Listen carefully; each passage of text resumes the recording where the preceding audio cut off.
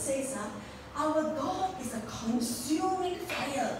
That means God burns. Anything that comes near Him uh, automatically combust. I think some of our um, science fiction movies show uh, go near something and boom, disappear already. So that's what happens. God is a consuming fire. And the Bible tells us that no man can see God and live. So uh, if you say you have seen God and you are still living, uh, you